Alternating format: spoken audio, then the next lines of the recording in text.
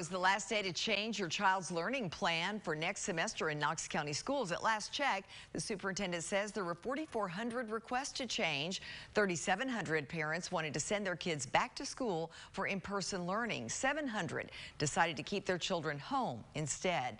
If you don't want to change, you don't have to do anything at all. We told you on WATE 6 on your side news at 4 today that nearly 25% of virtual learners were failing. If you're still trying to decide, here's what the superintendent had to say at last night's board meeting. The proportion of Fs assigned between in-person and virtual actually widened when compared to the grades assigned in, at the uh, 4.5 week benchmark. So uh, just for uh, keeping that in mind. And as I've said before, our virtual teachers are doing an outstanding job. Uh, very pleased that we're able to offer the virtual option for families who have health risks related to COVID-19 or other concerns.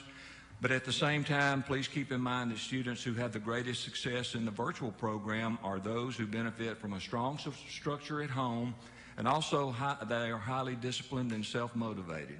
This semester, we know more than 17,000 students are learning virtually. Again, you must make any changes by tomorrow or your student will continue with current plans, whether they're virtual or in person.